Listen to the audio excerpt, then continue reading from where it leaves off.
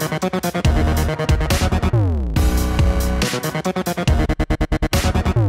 what's up guys? Nick the Informative Fisherman on behalf of Lucky Tackle Box here, and today we're going to be breaking down December's Panfish Lucky Tackle Box. Let's crack it open and see what we got. Boom, boom, boom, boom, boom, boom, boom.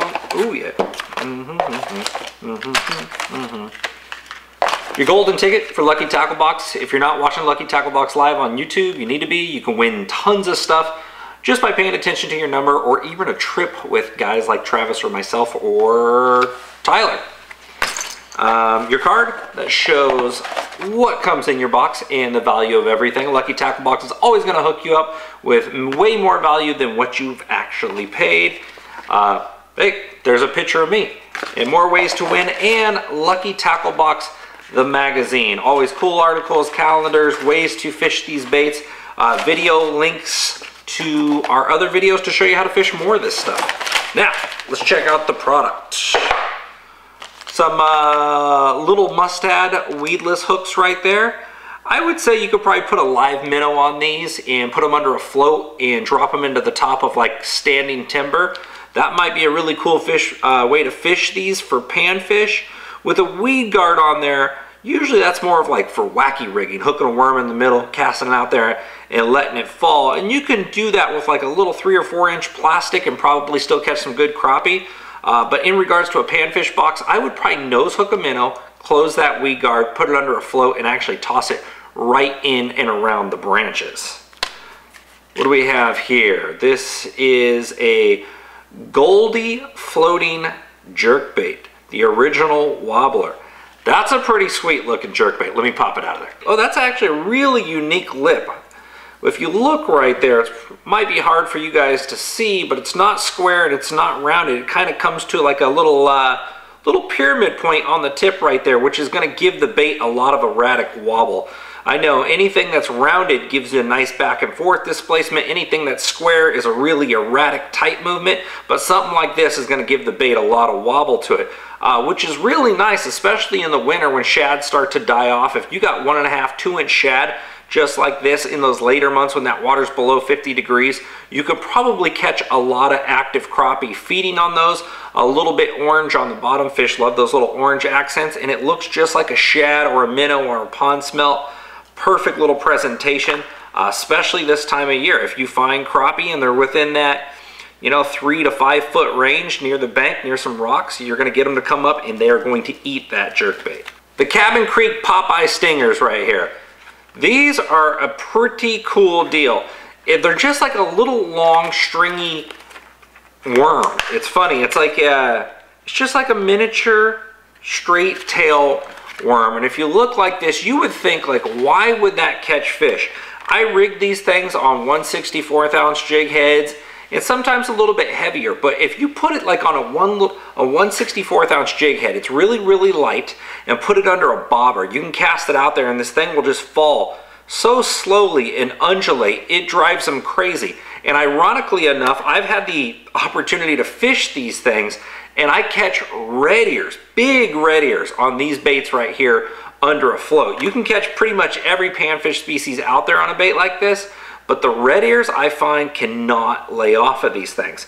Um, now, in regards to putting it under a float, you can do it that way, or you could throw it on those lighter jig heads. Those lighter jig heads is going to give it that more slow fall. The heavier is going to get down there. All you really want to do is just cast it out, let it fall all the way to the bottom, um, and then give a, your rod tip a couple little twitches. That's really all you need. On a lighter jig head like that, I'm also going to fish it on an ultralight setup. I like it. The lighter little tiny jig heads, you're going to have a smaller hook. You're going to cast that on two or four pound line on those lighter setups. Um, that's if you're throwing it without a bobber. If you're throwing it with a bobber, you're going to add a little bit more weight to your line. And there you can go with something like a medium light or light. The reason why you're getting a little bit more weight, you can get a little bit more rod behind it. But if I'm throwing it just on that straight up light jig head, I like the ultralight setup and I like two to four pound. If I'm throwing it under a bobber, I like four to six pound on a light or a medium light rod. Not, um, distance isn't really necessary. Um, if you're trying to cast a bobber a long ways, you can use something like a Bill Lewis rocket bobber. Um, but the bobber has a lot of weight to it, so you don't need a super long rod. Pretty much any rod's gonna do the trick uh, for that setup right there. But this thing is a red ear killer.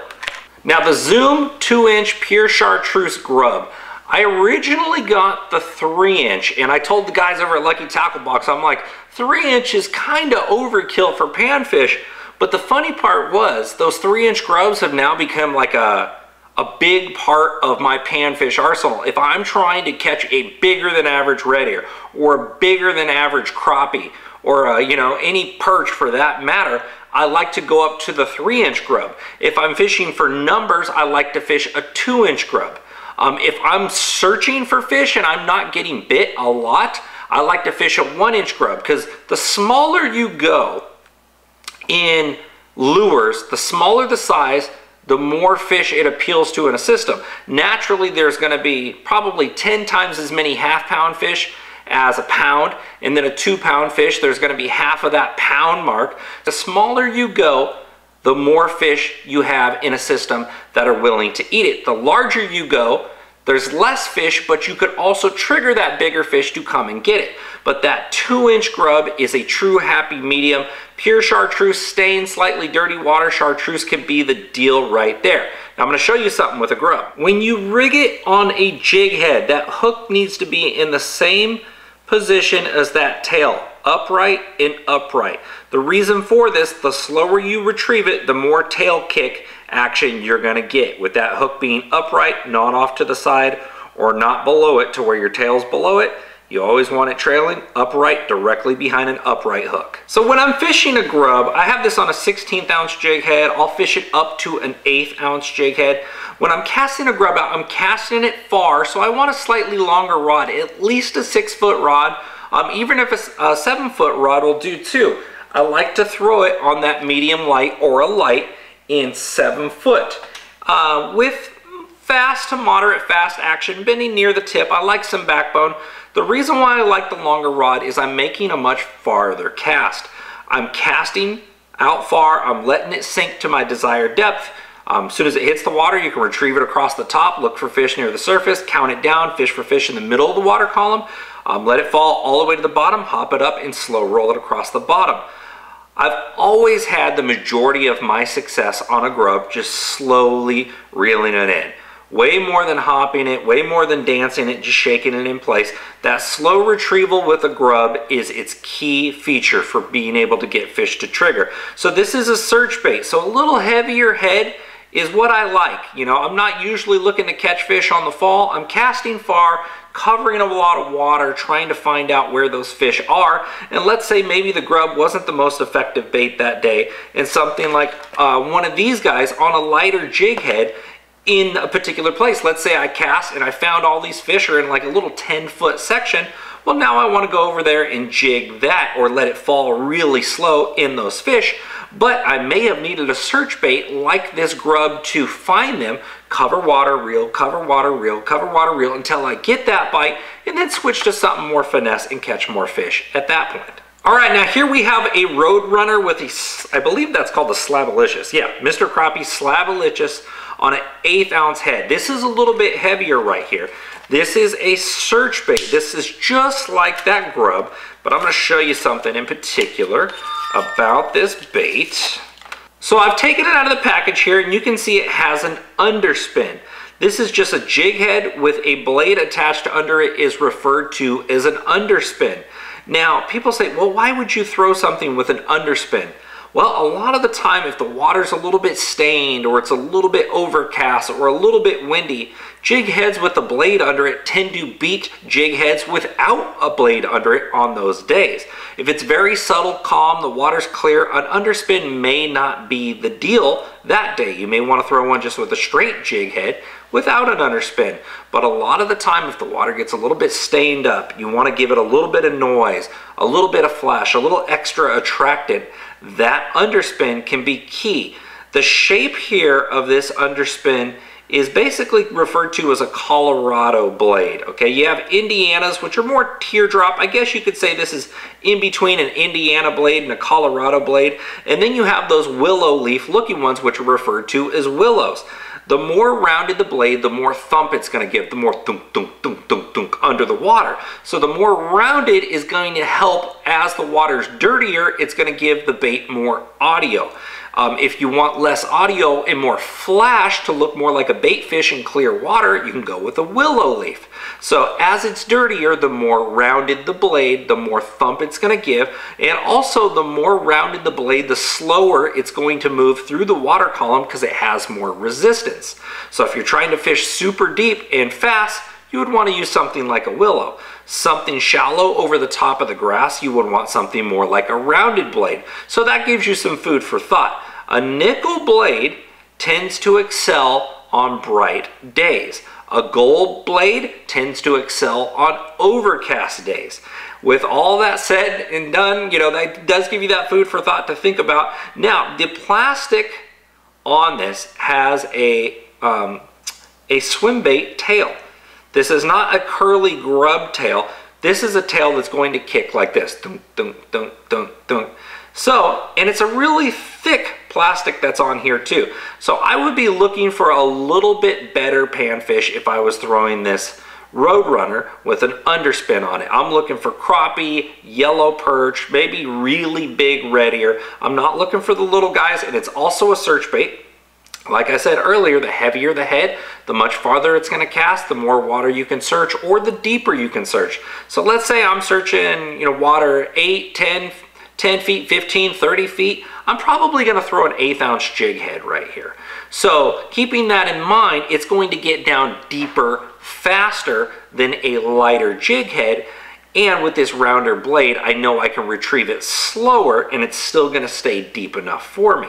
So keep all those little nuances in mind, guys, and you can catch a heck of a lot of fish. I've caught thousands of fish over the years on little road runners with underspins. All right, the Lunker Hunt Bait Jar Fish Bone.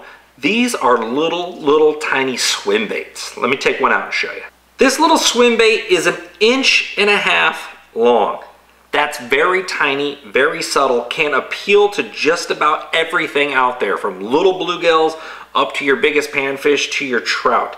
Now, here's a really cool thing Lunker Hunt did, and you really can't see the side, but imagine this is the fish's head and this is the fish's tail. They put these ridges on the side with gaps in them. So as you're slowly retrieving the bait, the water's gonna get caught in those ridges and it's gonna give this little tiny body all sorts of natural movement. Now, that being said, how would you rig and fish something like this? Well, it's a swim bait you're going to cast and cover water. Well, it's a tiny bait, so you don't want to put a fat jig head on there. I'm probably going to go as heavy as a 16th um, to 164ths. Um, and here's a really, really cool thing you can do. They have these heads with these spinners on the front, little props right on the front of the bait. This is a 1 16th ounce, and that's probably on the heavier side that I'm gonna go for this little search bait right here. So, now how would you compare, and I'll rig this up and I'll show you.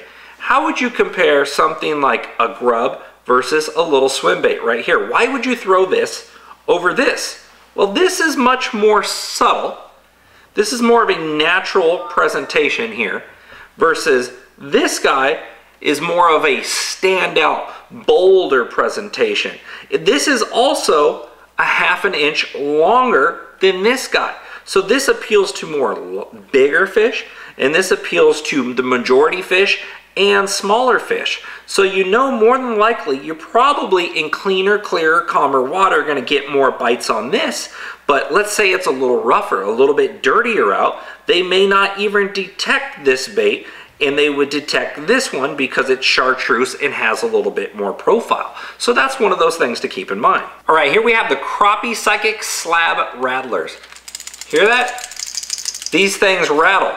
They're a crimp float. Basically, you just squeeze them onto your line, and I'm gonna show you how that works.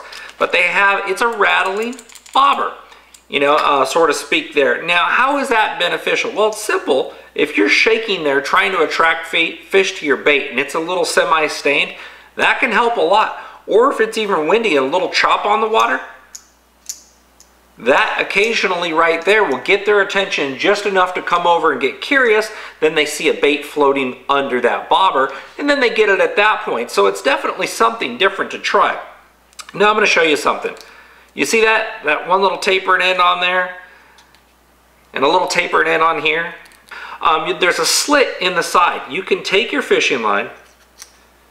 Let me put that in there for you. My line is in there and all I'm gonna do is push one end in and the tapered end, I'm gonna take the smaller end and I'm gonna push it in there and squeeze it down. Therefore, it is now attached to my line. To where if you already had a lure hooked on to your line and you wanted to put on a bobber, that's a really cool way to do it right there. And you can hear how audible that thing is. Very simple deal right there. It's crimped on. You're going to get very, very little line twist with a bobber like this with this shape coming off the top and coming off the bottom. Here we have the Johnson Slim Fish. This is just a really, really light flutter spoon. Let's take it out. I gotta take everything out. I'm one of those hands-on guys. Look at that. Really thin, light spoon right there. This is an eighth ounce. So even though it's thin and light, it does have some mass to it. An eighth ounce is still gonna drop pretty fast to where you could jig this on two, four, six pound line, you ice fishing guys, you probably already know to catch them on a spoon like this. That little wave in the body right there is going to give it a really nice subtle action strictly on vertical jigging with a little spoon like that. Nice little treble hook. Now, when you're jigging a spoon, a lot of people jig up and they drop their tip too fast to where they're slacking your line. Jigging up just enough to where you're following it down on a tight line, but still following it fast to give it the action. You don't want to go so slow that it doesn't have action. You want to jig up and follow it down on a semi-tight line. That's going to put a lot of fish in the boat. Most people have no idea that don't vertically jig or ice fish how good vertical jigging can actually be for catching just about every predator species out there. I vertically jig striped bass, bass, crappie, trout, kokanee, you name it. If that thing likes to chase bait, it is down to grab something that's vertically jigged. And a little tiny spoon like this, guys, can catch you a heck of a lot of fish. Especially if you look at the fish finder, you know right where they're at, drop right on their head, stay in that strike zone. You never have to retrieve it out there. I'm Nick the Informative Fisherman, guys. Hope you appreciated this unboxing. And uh, we'll see you next time. Make sure to subscribe to Lucky Tackle Box below.